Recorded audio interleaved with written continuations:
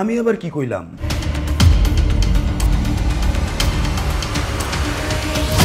লাগাইছো?